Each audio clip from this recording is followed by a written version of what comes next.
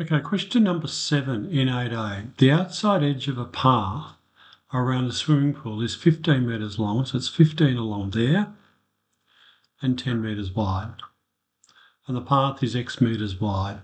Find expression for the area of the pool. Well, looking at the pool, the pool's going to be 15 minus an x there and minus an x there, so 15 minus x twice.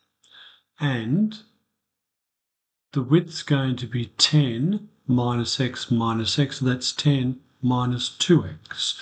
Find expression for the area of the pool. So the area of the pool will be 15 minus 2x, 10 minus 2x,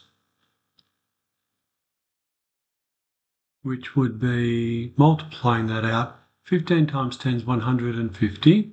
15 times minus 2 is minus 30x, minus 2x times 10 is minus 20x, and minus 2 times minus 2x is plus 4x squared.